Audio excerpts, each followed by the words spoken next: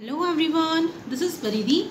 In today's video, we are going to discuss the second part of chapter Intellectual Rubbish of 9th standard. So, let's begin.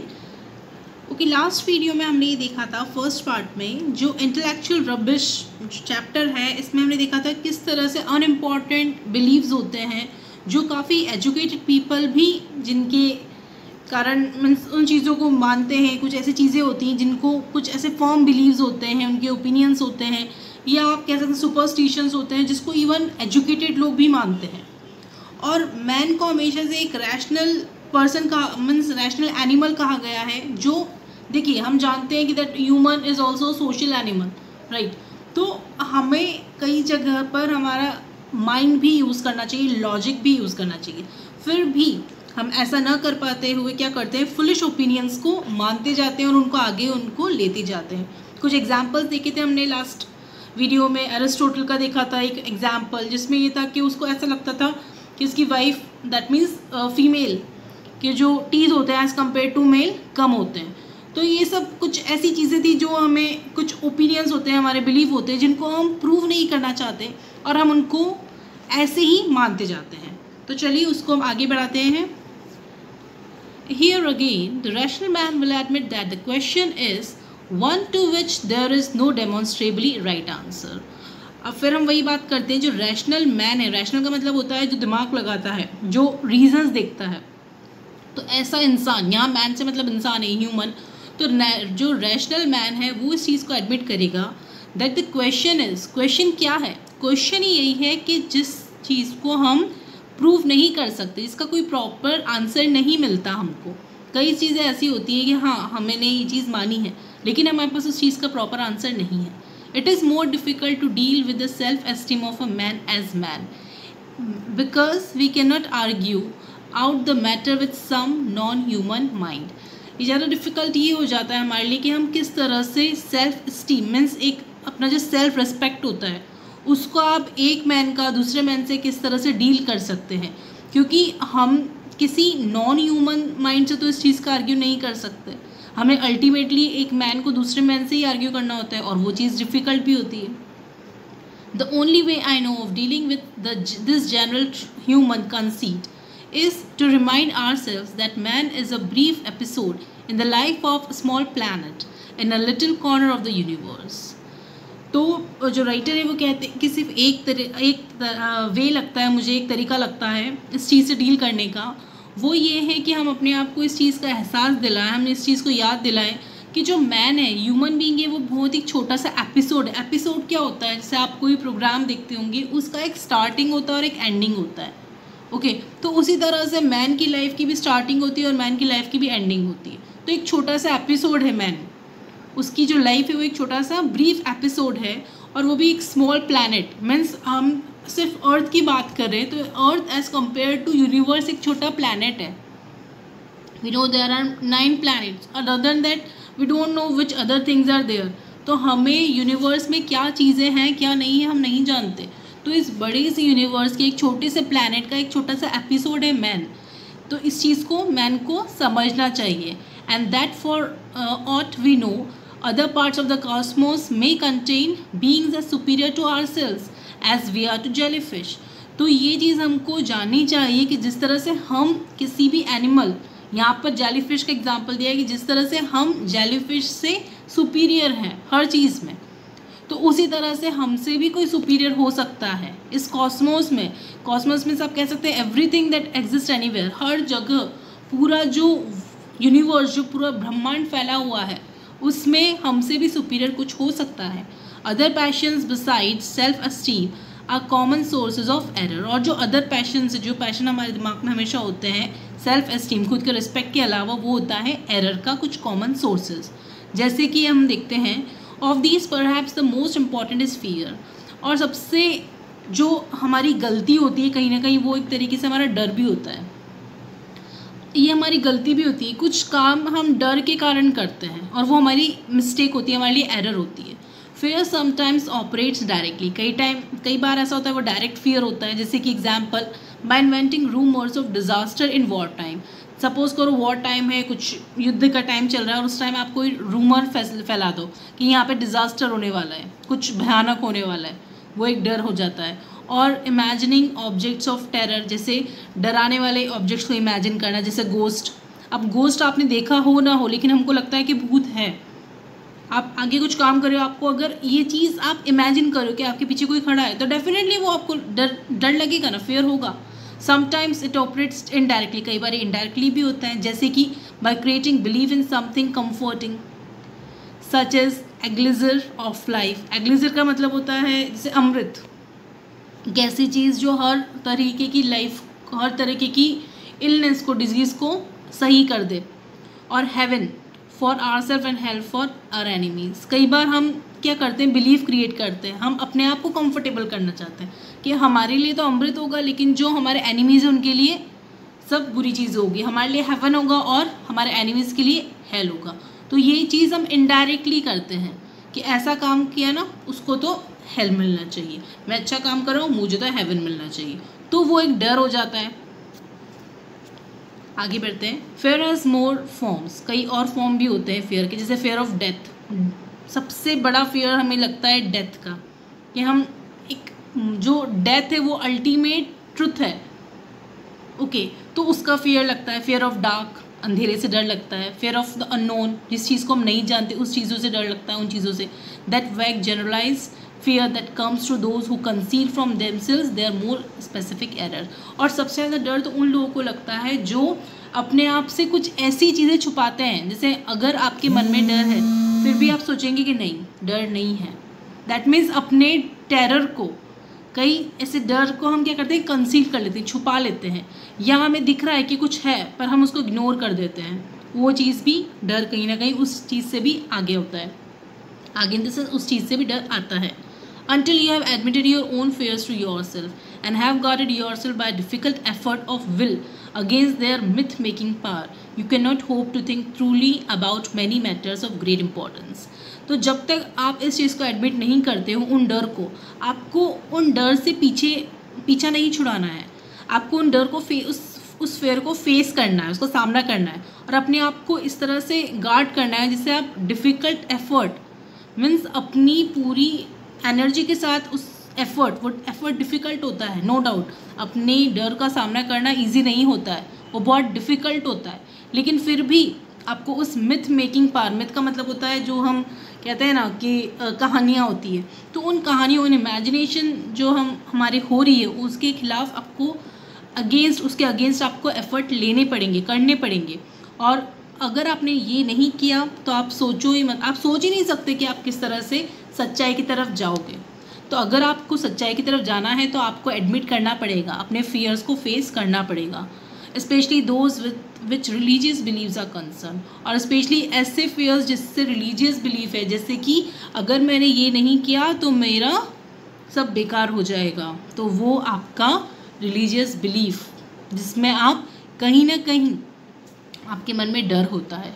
Fear is the main source of superstition and one of the main sources of cruelty और fear जो डर है, वो सबसे उसका, किस चीज़ का main source है वो? सुपरस्टिशन सुपरस्टिशन मीन्स अंधविश्वास. तो कुछ ऐसे सुपरस्टिशंस हैं जिनका एक मेन सोर्स क्या है मेन चीज़ क्या है? डर. हम ऐसा क्यों कर रहे हैं? क्योंकि हम डरते हैं, इसलिए. हम ऐसा क्यों सोच रहे हैं? अगर आपने कभी ध्यान दिया हो तो अगर हमको एक बार कभी स्नीजिंग हो जाती है, जैसे छींक आ जाती है तो हमको लगता है कि नहीं हमें बाहर नहीं जाना है। तो वो डर है। जबकि उसका कारण अगर आप साइंटिफिकली देखेंगे तो ये होगा कि थोड़ा सा वेट कर लो। हो सकता है आप जा रहे हो, एकदम और छींक आ जाए और आप गाड़ी, आप ट्रैवल कर रहे हो, कहीं ट्रेन में चढ़ रहे हो, छींक आ जाए तो एकदम ठीक है, थोड़ा सा वेट करो, अपने आप को नॉर्मल करो, फिर आगे बढ़ो। पर इसका हम इसको हम क्या कर लेते हैं? सुपरस्टिशन जैसे कि भगवान ने आपको संकेत दिया है कि नहीं, रुक जाओ। तुम्हारे लिए अच्छा नहीं हो रहा है। तो वो सुपरस्टिशन हो जाता है। और it is also main source of cruelty यहाँ तक कि ये क्रुअलिटी तक भी जाता है। To conquer fear is the beginning of wisdom और अगर आपने इस डर को जीत लिया तो मतलब आप आगे बढ़ने वाले आपका विजडम की शुरुआत होती है। In the pursuit of truth as in the endeavour after a worthy manner of life और उसके बाद अगर आप सच्चाई की तरफ़ जा रहे हो तो इसका मतलब ये है कि वो जिस तरह से एंडीवेर एंडीवेर का मतलब होता है कि आप कोई चीज़ अचीव करने के लिए बहुत ट्राई कर रहे हो। और वो भी एक अच्छी लाइफ होने के बाद। दैट मीन्स लाइफ भी अच्छी है और आप और अच्छा ट्राई कर रहे हो। तो इसका मतलब है कि अगर आपने विजडम की शुरुआत कर दी, अपने डर को काबू कर लिया, आपने उसको जीत लिया और आप सच्चाई की तरफ़ जा रहे हो तो इसका मतलब ये है कि आपकी लाइफ ऑलरेडी अच्छी है, उसको और आप अच्छा बनाने की कोशिश कर रहे हो। There are two ways of avoiding fear fear को अवॉइड करने का दो तरीका होता है। First is one is by persuading our self that we are immune from disaster पहली चीज़, अपने आप को इस चीज़ का यकीन दिला दो कि हम डिज़ास्टर से प्रोटेक्टेड हैं। कोई भी, कुछ भी हो जाती है प्रॉब्लम तो हम उससे अपने आप को प्रोटेक्ट कर सकते हैं। And the other is by practice of sheer courage और दूसरा है कि अपने आप इतना करेज लिया हो कि आपको किसी भी चीज़ का डर ना लगे। So your first question comes और here what is the main source of superstition second which are the two ways of avoiding fear the latter is difficult and to everybody becomes impossible at a certain point दूसरा जो है करेज रखना, वो थोड़ा सा difficult हो जाता है और एक टाइम पर आके तो इम्पॉसिबल हो जाता है। The former has therefore always been more popular और जो पहला है वो थोड़ा सा पॉपुलर रहा है हमेशा से। Primitive magic has the purpose of securing safety either by injuring enemies और by protecting oneself by talisman spells और इनकेनेशंस पहला क्या था कि अपने आप को डिजास्टर से सेव कर लो। तो उसके लिए क्या करते थे लोग? पहले मैजिक चलता था। अगर आपने कभी पहले की बात सुनी जादू, टोना टोटका ही चलता था पहले। तो ये चीज़ क्या होती है? अपने आप को सेव करना और अपने एनिमी को नुकसान पहुंचाना। उससे आप अपने आप को कैसे सेव कर सकते हो? तालिस्मान। तालिस्मान एक छोटा सा ऑब्जेक्ट होता है जो आपके गुड लक के लिए होता है। उसको आप रख रहे हो, अपने लकी चाम कह सकते हो उसको कहें। गुड लक के लिए कोई ऑब्जेक्ट फिर वो चीज़ अपने पास रखना स्पेल्स करना, कहीं ना कहीं कुछ ना कुछ मंत्र बोलते रहना इनकेंटेशंस मंत्र इन द सेंस कुछ भी, उटपटांग चीज़ें बोलना। यहाँ पर मंत्र ये नहीं है जो हम भगवान के लिए बोलते हैं, काला, मीन्स ऐसा कुछ मंत्र बोलना जिससे सामने वाले को नुकसान हो। Incantations incantations means magical words जो कंटिन्यू आप बोल रहे हो।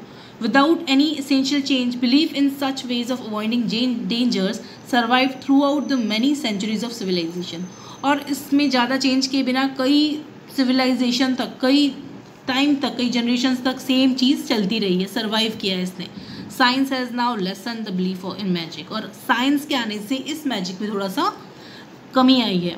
But many people place more faith in mascots than they are willing to avow जो मैस्कॉट्स आप कह सकते हैं लकी चाम कुछ ऐसी चीज़ जो आपके लिए लकी होती है लाइक तालिस्मान ओनली तो कुछ लोगों को अभी भी ऐसा लगता है कि हाँ ये मेरा लकी चाम है, लेकिन वो भले चाहें, बोलेंगे नहीं वो।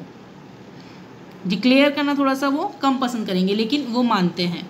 Neither a man nor a crowd nor a nation can be trusted to act humanly और to think sanely under the influence of a great fear कोई आदमी, कोई भीड़ या कोई इवन नेशन में भी मीन्स दैट मीन्स पूरा जो आप नेशन की बात कर रहे हैं तो इतने लोगों में कहीं भी can be trusted to act humanly और टू थिंक सेनली सेनली मतलब है रीजनेबली तो आप ये उम्मीद नहीं कर सकते कि सब लोग रीज़न के साथ चलेंगे. And for this reason poltroons are more prone to cruelty than brave man poltroons का मतलब था कावर्ड पर्सन जो डरता है. तो जो सबसे ज़्यादा डरते हैं ना वो ही हमेशा से गलत काम करने में इंटरेस्टेड रहते हैं या वो ही ज़्यादातर उनकी टेंडेंसी होती है गलत काम करने की and are also more prone to superstition और ज़्यादा ही उन, उनको ही ज़्यादा सुपरस्टिशन होता है जो ज़्यादा कावर्ड्स होते हैं डरपोक होते हैं। सो ये third question comes over here which kind of people are more cruel and superstitious Y आगे बढ़ते हैं but we have been getting too solemn लेकिन हम थोड़े से ज़्यादा ही सिंसियर हो रहे हैं। Superstitions are not always dark and cruel लेकिन हमेशा ही सुपरस्टिशंस बुरे हैं, ऐसा नहीं कह सकते। Often they add to the gaiety of life कई बार वो अपनी लाइफ को हैप्पी भी बनाते हैं। I received once communication from the god Osiris giving me his telephone number एक बार मुझे ऐसा कम्युनिकेशन हुआ, मेरी बातचीत हुई है गॉड ओसिरिस से, जिन्होंने मुझे अपना टेलीफोन नंबर दिया। He lived at the time उस टाइम वो रहते थे। In a suburb of Boston Boston के एक ऐसे एरिया में जो थोड़ा सा सिटी के बाहर होता है, वहाँ पे वो रहते थे।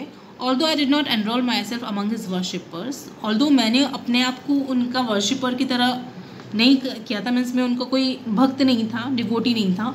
His letter gave me pleasure लेकिन उनका जो लेटर होता था, जो वो लिख के भेजते थे, उससे मेरे को अच्छा लगता था। I have frequently receive letters from man announcing themselves as the Messiah और कई बार मैंने ऐसे लेटर्स भी मुझे मिले हैं कि कुछ लोग हैं वो अपने आप को मसीहा कहते हैं।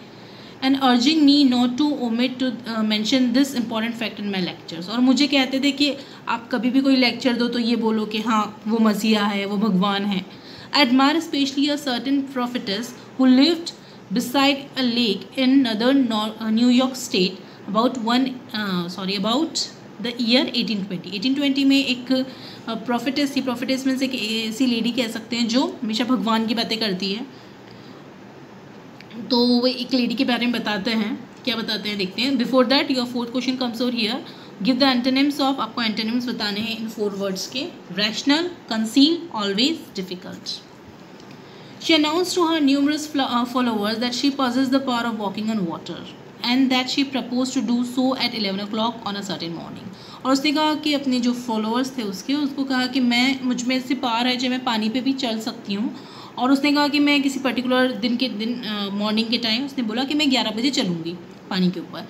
At the stated time the faithful assemble in their thousands beside the lake और उस लेक के पास में आ, उसके जो साइड में और कुछ जितने भी फेथफुल असेंब फेथफुल थे उनके डिवोटीज़ थे फॉलोअर्स थे वो सब इकट्ठे हुए। She spoke to them saying are you are entirely persuaded that I can walk on water उसने कहा कि क्या आप सबको लगता है कि मैं पानी पे चल सकती हूँ? With one voice they replied we are उन्होंने कहा कि हाँ हमको लगता है। In that case she announce there is no need for me to do so उसने कहा, अगर ऐसा है तो मैं क्यों करके दिखाऊँ? आपको यकीन है ना? तो फिर मैं क्यों करके दिखाऊँगी? And they all went home much edified और उन्हें एक लेसन लर्न कर लिया कि हाँ थोड़े से और उनमें जिन जिनमें ऐसा था कि हाँ नहीं चल सकती ना, तभी तो वो नहीं चल रही है। तो जिनको ये चीज़ का बिलीफ हुआ, जिनको समझ में आया कि हाँ she is just saying everything fake तो उस टाइम क्या होगा? उस टाइम वो कुछ लोग चले गए घर पे ये सोचते हुए कि हाँ ये झूठ बोल रही है। पर हैप्स द वर्ल्ड वो lose some of its interest in variety of such belief are wholly replaced by cold science और जिनको ऐसा लगा, वो घर चलेगा मीन्स उनको समझ में आया कि ये झूठ बोल रही है। तो इसी तरह से वर्ल्ड धीरे धीरे कुछ ऐसे इंटरेस्ट और वैरायटी जो जिसमें ऐसे बिलीव होती है कि हाँ हर चीज़ पे आप बिलीव करते हो बिना देखे, वो चीज़ रिप्लेस हो जाएगी साइंस से। A wise man will enjoy the goods of which there is plentiful supply and of intellectual rubbish he will find an abundant diet एक बुद्धिमान व्यक्ति को हमेशा ऐसा good goods in the sense ऐसी चीज़ें उसको मिलेगी जिसका खूब सारा सप्लाई है। और इंटेलेक्चुअल रबिश को हमेशा से अबंडेंट डाइट मिलेगी। अबंडेंट डाइट मीन्स उसको हमेशा से खूब सारी चीज़ें मिलेंगी कि ये भी अच्छा है, वो भी अच्छा है। का diet in the sense mind के लिए डाइट क्या होता है? थॉट्स तो उसको कई सारे ऐसे थॉट्स मिलेंगे जिनमें कोई बेस नहीं है in our own age as in every other और उसकी खुद की एज में जैसे दूसरों के पास बिलीव्स है, ऐसे उसको भी मिलेंगे। तो इंटेलेक्चुअल रबिश का मतलब ये होता है कि आप इंटेलिजेंट हो, आप एजुकेटेड हो, फिर भी आप कई चीज़ों को अंधविश्वास की तरह उनको फॉलो कर रहे हो। So this is what chapter और the intellectual rubbish topic is told to you by Bertrand Russell उन्होंने लिखा है ये आई होप आपको आज का वीडियो समझ में आया होगा। लास्ट क्वेश्चन आप देख लीजिए। How did the prophets befool her believers किस तरह से वो अपने बिलीवर्स को बिफूल करती थी या फूल बनाती थी? So in case of any doubt or difficulty feel free to ask me okay then take care stay safe